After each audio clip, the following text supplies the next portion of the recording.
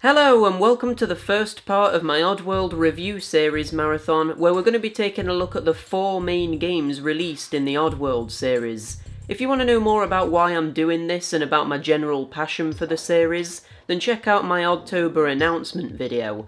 But for now, we're going to be taking a look at the first game released in the Oddworld series, Oddworld Abe's Oddysee.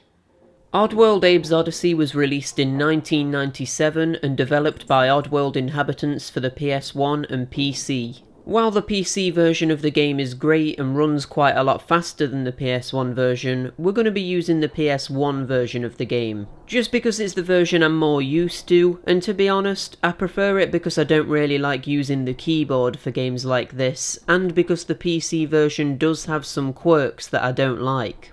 For example, this icon that appears telling you when you've got a checkpoint, which kind of very slightly breaks the immersion. The game is a 2D cinematic platformer, similar in design to Another World, Flashback or Prince of Persia, where you control a humanoid character who for the most part lacks any abilities that wouldn't be possessed by an average person.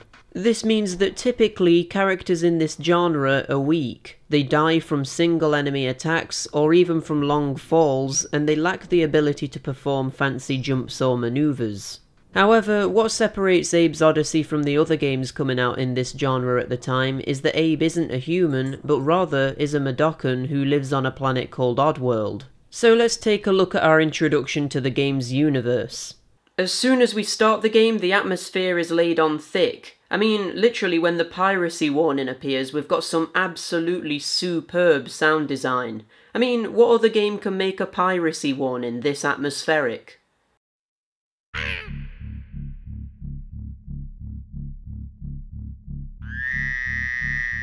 The sound design then starts building up and becoming more threatening as the game's opening and idents play out, and instantly we know that this game is going to be dark and maybe even somewhat scary. And we know all of this before we've even seen anything about the actual game. I mean, just listen to this. This sound design gives me goosebumps every time I hear it.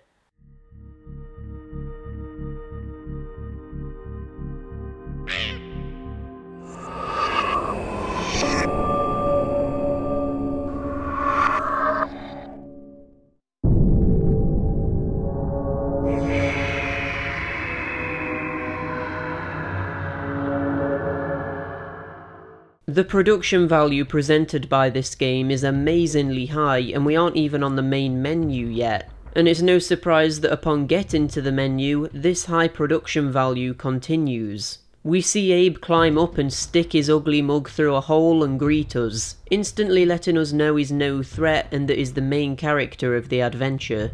While navigating the menu, Abe interacts with us, and I always loved this. Not only is it quirky and fun, but if you access the GameSpeak menu, you can familiarise yourself with the somewhat complicated in-game communication controls, while getting to see Abe's animations as he acts out your button presses. This of course is a fun little extra thrown into the game and acts as a nice tutorial, but it also gives Abe a lot of character by allowing you to see his expressions and means you can picture what he looks like while talking even during the gameplay where you can't see him this clearly. Upon actually starting the game, we're asked if we want to play one player or two player, and I really don't particularly see the point in this. Rather than being a proper two player mode where you play simultaneously with someone, the two player mode basically just means that when one player dies, the other player picks up where the first player left off. So really you could achieve this same thing by just passing the controller along when you die.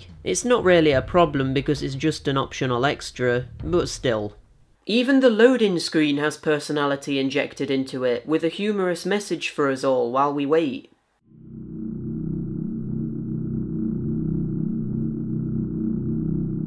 It's seriously impressive how this game has already completely set its tone, and this has happened before the game's even started. From its opening, to its menu, and even its loading screen, we know that this game is going to be dark and maybe even a bit scary, but with a lovable main character, and that also has a sense of humour to balance everything out. What other games are capable of establishing this much before even seeing a cutscene or gameplay? Not many. It's at this point where the game actually begins and we see the first proper cutscene, and my god, look at these cutscene graphics. This is seriously next level stuff. I don't know how they got cutscenes looking this good on PS1 hardware and in 1997, but they did it and it looks incredible. Not only is the general quality amazing, but the artistic direction, lighting, background details, voice acting, and every little thing is absolutely incredible. This sort of quality was unprecedented at the time, and this game truly showed the world what storytelling in games was capable of being. Anyway, the story of the game is being told from the perspective of Abe, who's a floor waxer at a meat processing plant called Rupture Farms. He and his Mudokon friends are all kept as slave labour and are being manipulated into believing they have good lives here, while they help the superiors destroy the environment and literally cause entire species to go extinct, in order to create tasty consumables for the masses. Abe has done something extremely bad and is about to be confronted by the boss of Rupture Farms, Molluck the Glukkon, and the rest of the game is a flashback where Abe is telling us what happened. So while waxing the floors one night, Abe comes across a board meeting where Molluck and a few other Glukkons are talking about how profits are dropping. They've already made a species called Meechers go extinct, and people just aren't buying scrab cakes and paramite pies like they used to. So Molluck's solution?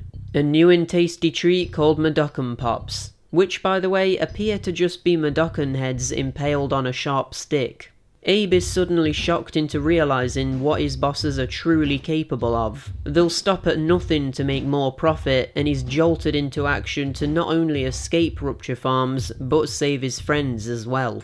Immediately, Abe is spotted running away and becomes a wanted man, I guess? And then the game begins.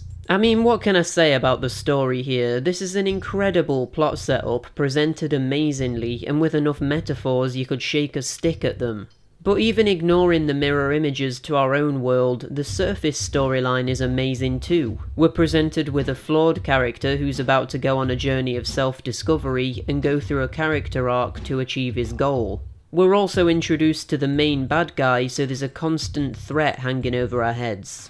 While by today's standards this isn't really too impressive, bear in mind that this kind of complicated narrative, presented this well and with this much going on beneath the surface, was practically unheard of. A lot of people say Metal Gear Solid was the first truly cinematic game they played, but Oddworld Abe's Odyssey was right here, doing it a year before. So the game begins, and instantly there's a secret passage on literally the very first screen. Which actually leads me nicely onto the first thing that I like about this game. I love how the secret passages not only supply you with additional optional challenges, with some of the secret areas being the most difficult areas of the entire game, but it also adds replayability because you'll want to find all of the hidden Mudokons and rescue them on subsequent playthroughs. But let's not get too ahead of ourselves here, and let's instead continue through the main game. So within the first few seconds of gameplay we're introduced to the main threat of the game, Sligs. These creatures work for the Glukkons as the security force of Rupture Farms and have been ordered to kill Abe on sight. They're also seen keeping the other Mudokon workers in line, making them docile and fearful, perfect for a slave labour force. One shot from these Sligs and you're dead, so they pose quite a big threat to Abe. Luckily, Abe isn't completely defenseless and has the ability to chant and possess Sligs, giving you control over them and their abilities. This leads me on to another thing I love about this game. All of the species found here have their own quirks which are implemented into the gameplay through strengths and weaknesses. So while playing as a Slig, the main strength is obviously the fact that you have a gun. So by using this you can kill other Sligs and clear areas of threats to Abe. A Slig's main weakness is that they can't jump, so this limits how far you can take them, and to get over gaps or up onto ledges, you'll need to be Abe. Sligs have other strengths too, but I'll get onto those a bit later. It's here where one of Abe's strengths also comes into play. Abe has the ability to talk and to interact with other Mudokons. While the communication mechanics could be seen as fairly rudimentary today, You can still have a lot of fun with this, and it's nice being able to interact with different inhabitants and see how they respond to you. It also makes the Mudokons feel more real, and you as a player feel more incentivized to rescue them all, because they aren't just a collectible, but real living things that you can interact with. So it just ends up adding a lot of weight to what Abe is actually doing.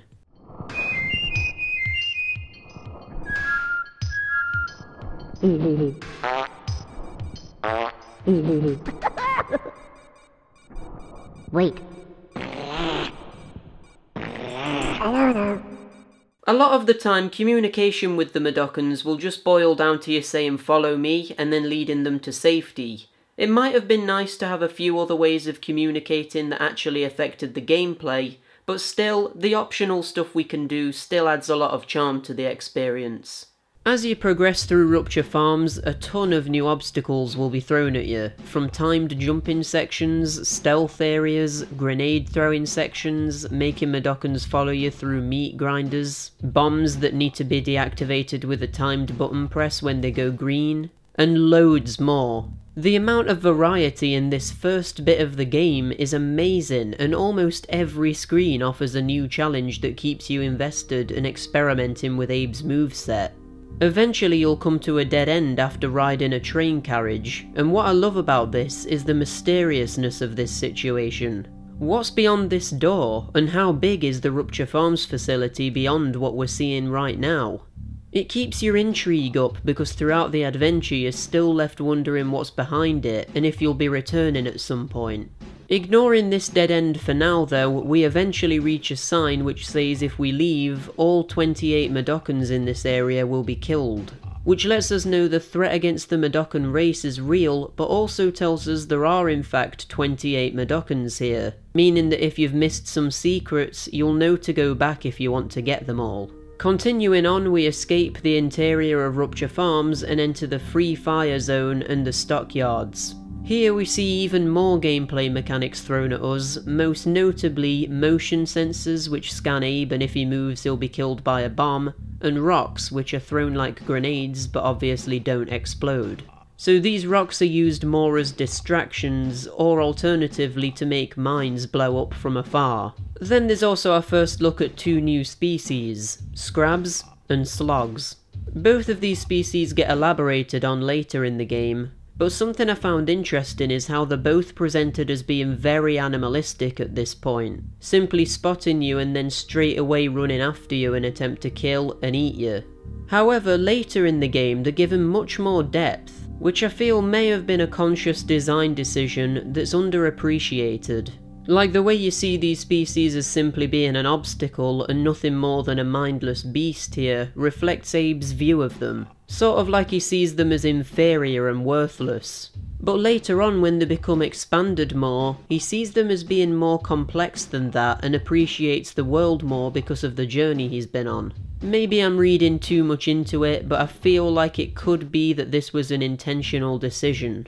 I think now's a good time to take a bit of a rest from the gameplay and speak a bit about the in-game graphics. By this point we've seen a fair bit of the game and I think we can now say that these graphics are truly amazing. While yeah, obviously the character models have dated because this is a fairly early PS1 game, I still think the actual animation of them is really good. The way Abe sneaks, walks and runs all feel different because of the animations and the sound effects used for his footsteps on different surfaces and that change depending on his walking style. This is very much appreciated, and then there's also the way that he skids to a hole after running which gives an impression of speed, and also shows how Abe can be a bit clumsy too. But the main impressive thing here has got to be these backgrounds. Look at this. You could pick any random background from this game and it would be a piece of art worth framing and hanging up. The detail and the scale presented is jaw-dropping. Some of the backgrounds even have movement, which makes Rupture Farms and other areas feel like real places rather than being flat and static. The use of colour is also incredible here. Despite being a bleak game, it's visually engaging. with purple skies filled with distant moons and planets contrasting with the green light pollution seen in the sky earlier, and then this contrasts with the greys and browns of the interior of Rupture Farms. It's incredible, and later on in the game there's even more variety too.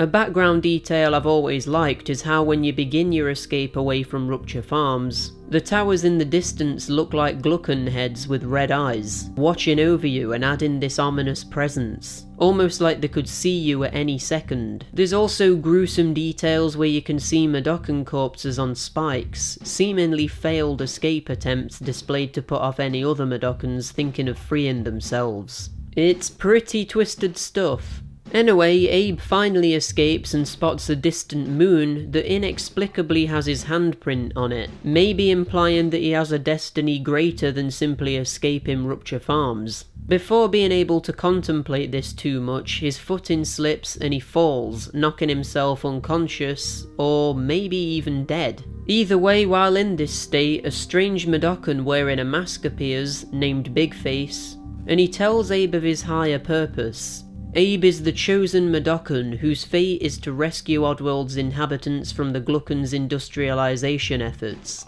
But before he's able to do this, he needs to go to the ancient temples of Scrabania and Paramonia and complete several tests to prove himself worthy of being the saviour of the Mudokons. No pressure then. So Abe gets up and visits the lands of Paramonia and Scrabania, which are accessed by him going through an ancient Mudokon temple called Monsaic Lines. It's here where we're introduced to the whistle mechanic, which is another aspect of the game speak communication in the game. The premise is simple. You hear a native Mudokon do a whistle tune, and then you copy it, and they either let you past, give you access to spirit rings which blow up any bombs present on the screen by chanting, or activate some sort of contraption like a lift. These whistle puzzles are used through the whole game from here on out, and while I enjoy them because they give more complexity to the game speak rather than just saying hello, follow me and wait all the time, I do have a bit of an issue with it. When you come across a Mudokon who gives you spirit rings, you do the whistle and he gives them to you. Great. But then if you need the spirit rings again, you have to go through the whole whistling process again. And I just feel like they should have just have instantly given you the rings after you've done the whistle the first time. It just feels like a little bit of a waste of time having to do that again. But this is only a small gripe in the grand scheme of things. Getting to the end of Monsaic Lines sends you to a dead end, which is protected by loads of sligs and bombs, and there's no way Abe can get past without being instantly killed. He's told that by completing his trials in Scrabania and Paramonia, that he'll be given access to the power of the Shrykull and be able to pass this area. This keeps intrigue high because it must be pretty powerful to be able to let us get past this much security. So this informs us of a reward for doing the trials and makes us want to complete them even more. So it's here where we can pick either Paramonia or Scrabania to go to first, which adds a non-linear aspect to the game design. Both Paramonia and Scrabania are drastically different to any environments we've seen so far. Paramonia is a huge forest area with wooden structures standing tall in the background, while Scrabania is a blistering hot desert area with a stone temple at its centre.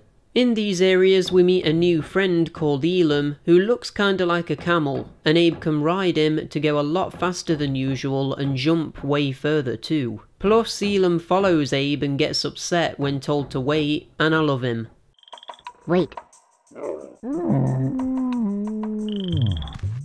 Plus, he loves honey and gets distracted whenever he sees it, forcing Abe to lead swarms of bees to him to get his attention again. But it's done with good intentions, I promise.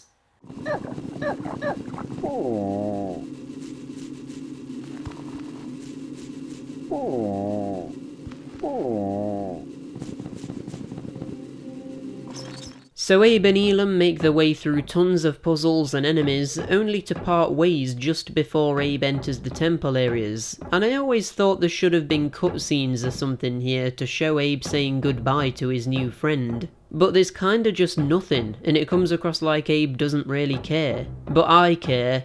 I want to see Abe sad to leave Elum behind.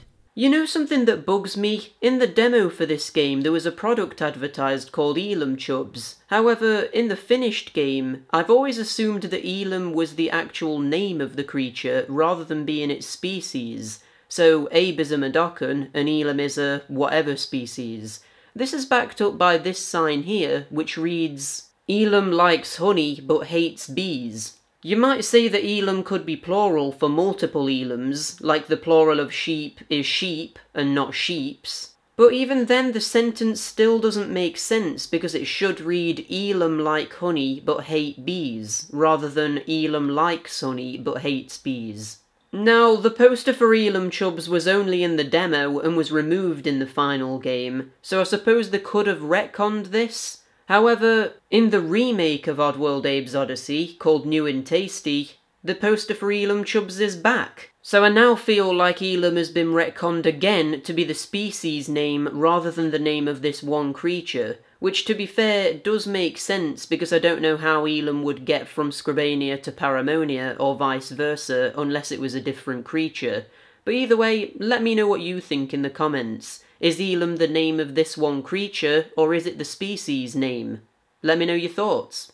So I wipe my tears away as Abe leaves Elum, and we go through a short section before entering the inner sanctum of the Paramonia and Scrabania temples. These areas are laid out like a series of short puzzle rooms, and to open the way out of the temple, you'll need to light a flintlock in all of these rooms. Despite being laid out the same, Paramonia and Scrabania feel completely different to each other, in no small part due to the fact that Paramonia features Paramites and Scrabania features Scrabs.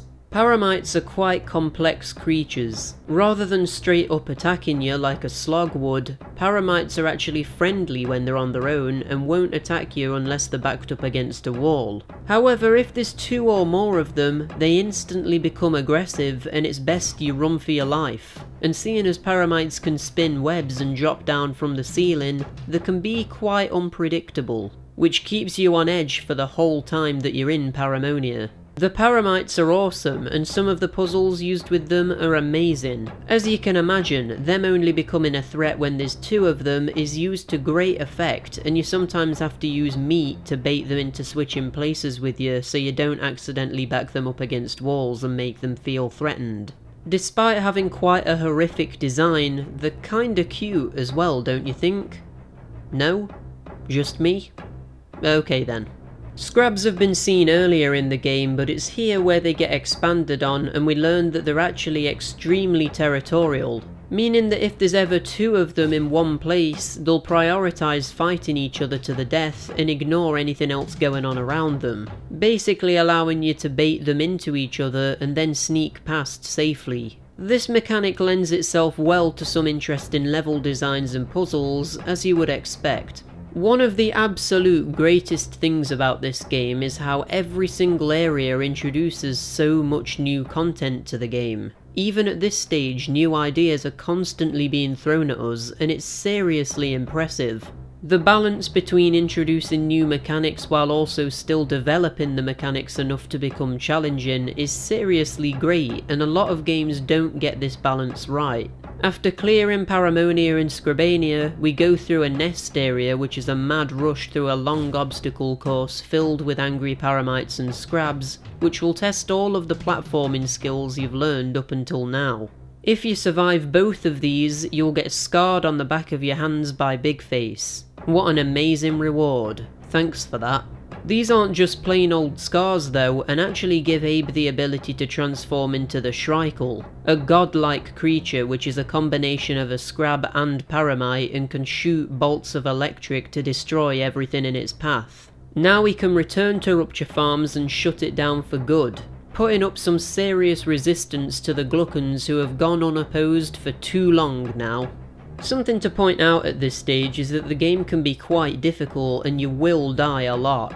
This wouldn't be too much of a problem, but if you die, the game has a tendency to force you to go back ages. Like sometimes to the beginning of the entire area you are on. Meaning if it's a big area, you could have to repeat entire puzzle sections or platforming sections, and if you've already done them, it can feel a bit tedious. The solution for this is obviously just to have more checkpoints, but this remains a constant problem throughout the rest of the game to be honest, and it's quite bad. It wasn't really a problem up until we got to Paramonia and Scrabania because the game was relatively easy back then. But now the difficulty is ramping up, yeah it can feel extremely harsh.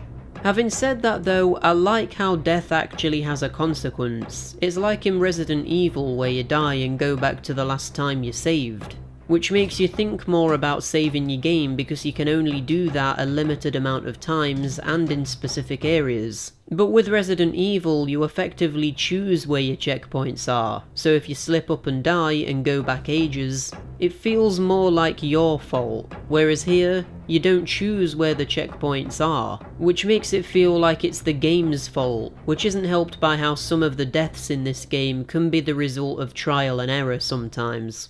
Despite dying sometimes being annoying though, there was this one point in the game where I died and it was actually pretty funny. There's these spirit guides where you chant and it gives you advice one word at a time. So I did that and was reading the message which slowly says watch out for the bat. Only it's timed in such a way that you die pretty much as soon as the message finishes to a bat that's flying around the screen. It got a chuckle out of me because it felt like a bit of a troll, but at the same time, it was my fault for not moving out of the way of the bat first. I don't know, I just found it pretty funny. It's that sort of dark humour the game uses throughout that makes it so entertaining to experience. Abe eventually returns to Rupture Farms after backtracking his way through a harder version of the Stockyards and Free Fire Zone, only to discover that Rupture Farms has dramatically increased its security since he escaped. Luckily, you now have the power of the Shrykull to put to use. However, you stopped from being too overpowered because you don't always have access to the Shrykull, and are given a single use of it by rescuing Mudokons in specific places. An aspect of the level design I really didn't like at this point was this bit where there's an electric fence and it's not made clear that you can deactivate it. I actually went and finished the game only to find I had about 20 Mudokons missing. So I went back to an earlier save and discovered that by pulling this lever on the other side of the level, you could deactivate the electric and backtrack even more. What made this even more annoying was that after rescuing all the Mudokons, I looked at a guide to double check I had all of them, only to find I was missing three, despite being sure I had got them all. I'm not entirely sure if this was just me missing a secret, or if the game's counter had glitched or something, but I decided to just reload and try again a third time. And guess what? Yet again my path to 100% was halted because of a glitch where I got a checkpoint after spawning some sligs in this room. But I didn't save the Mudokons in the room because I thought I needed the Shrykull. So when I came back and entered the room again, I was shot instantly and taken back to a checkpoint. And it's here where the situation just kept repeating itself, making it impossible for me to rescue the Mudokons down there. So it turns out what you're supposed to do is possess this slig, go down and spawn the other sligs and die, then as Abe throw a grenade down to kill the sligs that spawned in. But because I killed the slig you need to possess and then got a checkpoint, I died and respawned, but the slig I needed to possess was still dead, and the sligs in the other room hadn't spawned. So I could no longer throw a grenade in and kill them because they weren't there yet, and as soon as Abe enters the room, the sligs spawn and kill him, making it impossible to progress. So anyway, a fourth time I loaded the game, but this time the Mudokon counter worked and I didn't softlock myself out of getting 100%. Needless to say, this section of the game is a little bit glitchy and it seems the developers didn't take into account that you could do things in a non-linear order and lock yourself out of getting Mudokons. Also, I swear that the counter glitched and said I had 3 less Mudokons than what I actually had but I can't be 100% sure on this. Still, having to replay this quite lengthy section of the game four times was extremely irritating. Imagine if I hadn't saved the game for ages and had to go back to Scrabania or Paramonia. That would have been really bad. So yeah, my advice is to save quite often. However, this leads me on to another problem. When you save the game, instead of overwriting the last save, it creates a brand new save file. Which is actually good because you can go back to revisit earlier levels using all of your different saves. However, it means that you'll fill up memory cards extremely fast. A better solution for going back to older levels would be to just have a level select menu become accessible when you finish the game. Maybe telling you how many Mudokons are in each area so you can find the secrets more easily. This would have solved two issues, one being the fact that some secrets are far too hidden, and the second issue being the save system having to create so many different files so you can go back in the game. Either way, despite being a bit of a weird save system, it actually came in useful for me and allowed me to get 100%, so I guess I shouldn't criticise it too much. Anyway, remember that door at the beginning of the game that was closed, creating a dead end after going on that train ride? Well, now the door's open, and you can finally explore more of RuptureFarms and see areas that you've never seen before. This is where we're introduced to Sliglocks, which are basically the same as the whistle puzzles with Abe, but this time you copy a machine and you have to be controlling a slig to mimic them.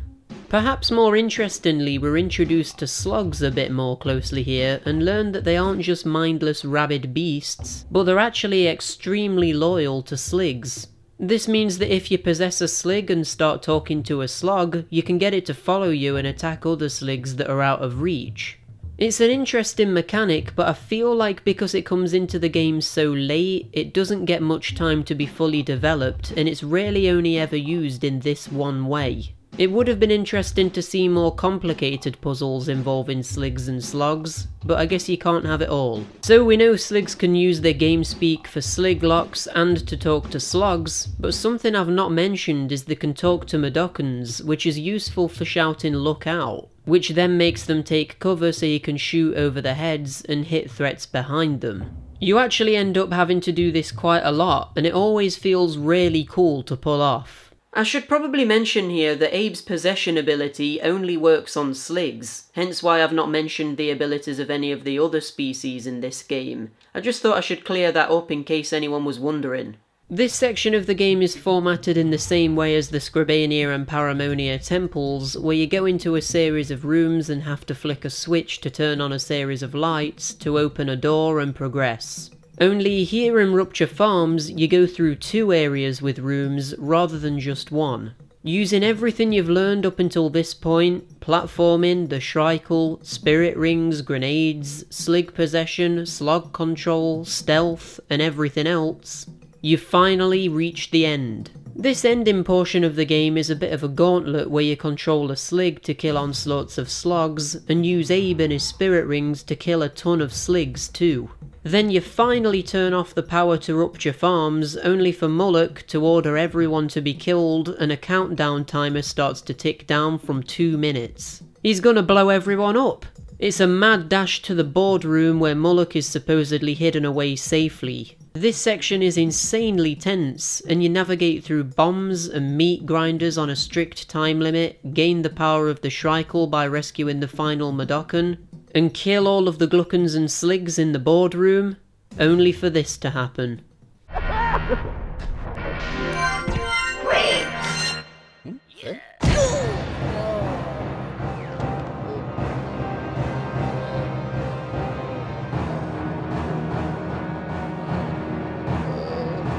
Yeah, you remember how Abe was strung up at the start of the game waiting for Molluck to arrive? We've finally caught up with Abe's story, and Molluck walks into the room and orders his slig assistant to kill him by dropping him into a meat grinder which opens up below. If you rescued the majority of the Mudokons, you'll get the good ending here, in which all of the people you've rescued get together and chant, creating enough power to cause a storm above RuptureFarms, which then causes a lightning bolt to crash down and kill Molluck and the Slig instantly. I say instantly, Molluck has his clothes fried off first, revealing that Glukkons look kinda freaky underneath the suits.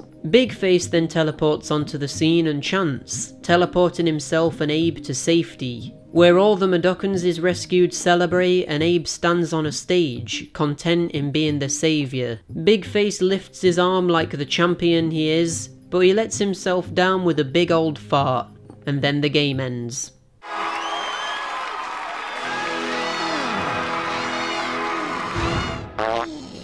The 100% reward is a little bit underwhelming. It's a cutscene viewer, which is nice I guess and it's good you at least get something, but you've already seen all of these cutscenes in the game itself. Plus, you can't access this cutscene viewer again once you've left this screen. It should have appeared in the options menu or something, so you could go back to it. But wait, what's this at the bottom of the cutscene viewer? I don't recall seeing this in the game. Let's give it a watch together.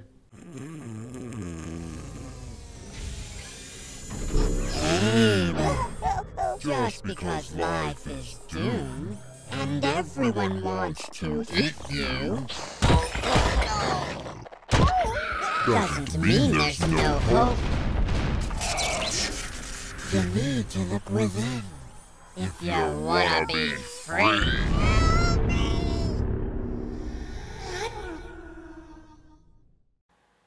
Well, I guess I didn't need any sleep tonight anyway.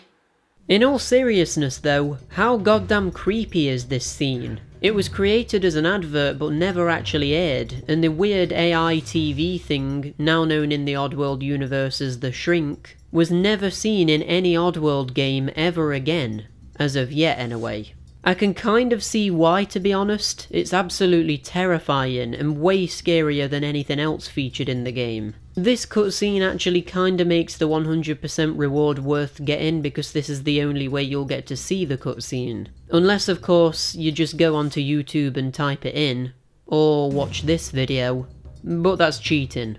That just about sums up my thoughts on Oddworld Abe's Oddysee, a truly amazing game that's held up really well thanks to its amazing graphics, the gameplay variety, the controls that are tight and actually quite intuitive, and perhaps most importantly, its story and the universe it introduces to us. Being the first game in the series, I will admit that it has problems. Some of which I've mentioned in the review, like the lack of checkpoints, some sections which are basically trial and error, the save system being flawed, and secret areas being way too obscure at times. Then there's also some mechanics that feel underdeveloped, like the Slig and Slog relationship, and even the Shrykull power-up, which is only used a few times at the very end of the game. And you could also argue that the game's on the short side too. Another slightly annoying detail is that you can't talk to more than one Mudokon at a time, which for the most part is fine because most of the puzzles and obstacles are designed around taking one Mudokon at a time with you to make it more tense when you come back for another one because you've got more progress to lose if you die. However, there are some times where there's not even a puzzle or an obstacle involved and you just have to take a Mudokon across a level and then go back and get another one when they could have just have both followed you in the first place. Plus, realistically, this doesn't make any sense. In the game's universe, why wouldn't Abe be able to talk to two people at the same time? A similar problem to this is that when you tell a Mudokon to wait, they remain listening to you, so to talk to another Mudokon, you either have to leave the screen and come back, or simply stand there and wait for them to start working again so you can talk to another Mudokon. Plus, Mudokons don't follow you off of ledges, making you say follow me again to force them to walk off. It's little things like this that could do with being smoothed over. But let's be honest here, despite me going on for ages about the flaws with this game, they're mostly all nitpicks, and when the rest of the game is as good as this, it's so easy to just look past the small issues the game has. There's so much attention to detail with the game that I haven't even delved into. But to talk about everything would take far too long, and this video is already pretty lengthy. But just a couple of things I like are how certain Mudokons have different tones to their voices, which gives them more personality, and yet again is just another small thing that makes the game's world feel real. Hello. Hello. Follow me. Okay. Thank you. I love how when you go from one screen to another there's a sweep in transition that moves in the direction you entered the screen from, which not only gives you a split second to react to the layout of the new screen, but also gives you a sense of motion and makes it feel less like a new screen and more so like it's a connected world, which wouldn't be the case if it just cut to the next screen. There's so much to love here and there's aspects I've not even spoken about like the stealth elements where you can sneak in and out of shadows undetected, but to speak about everything the game has to offer would be insane. To sum up, this is an absolute must-play game in my opinion, and is the first game which introduced us to the universe of Oddworld. While other games expand on this universe, this one is the game that introduced it and its concepts, and it needs to be held in high regard because of that. One last thing I'll mention is that while playing this game for the review, I almost found myself wanting more of an explanation about certain things that the game shows us and tells us.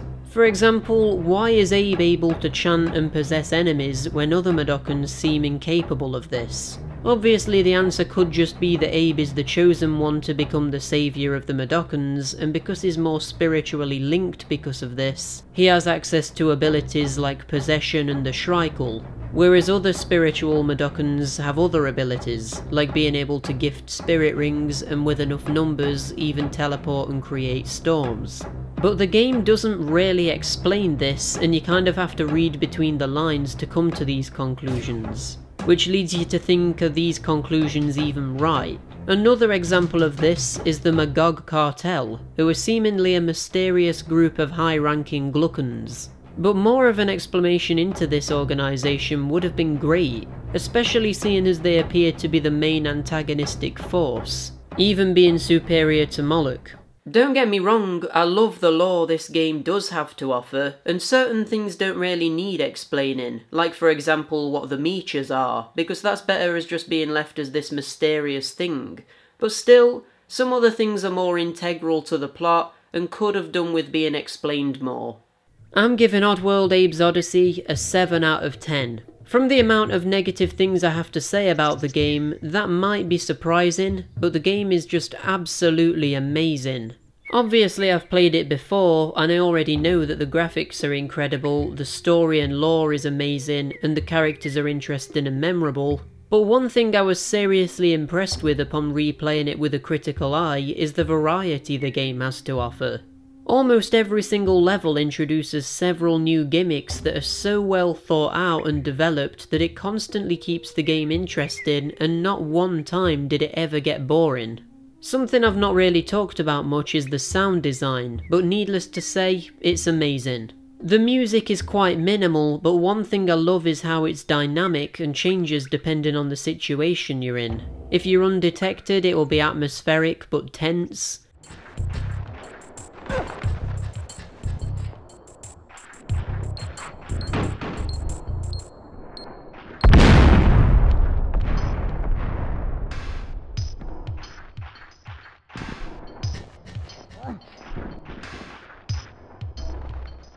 then if you're spotted it will quickly pick up with industrial drum beats.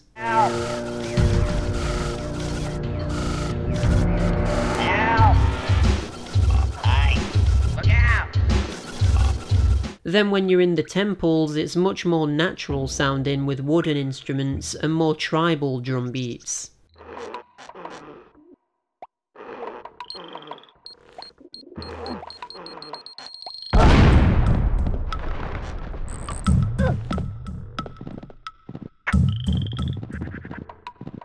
It's awesome stuff, and the whole game has such amazingly high production value that it makes it all the more disappointing when you come across a little nitpick. And I think this is because it just stands out so much against the rest of the game. So that's Oddworld Abe's Oddysee. This game would be extremely difficult to top, but that's exactly what Oddworld inhabitants planned on doing with the direct sequel to the game, Oddworld Abe's Exodus. Now, with such a high bar to reach, would Abe's Exodus fall short of achieving its goal, or would it even surpass the original? You'll just have to wait until next time to find out, won't you?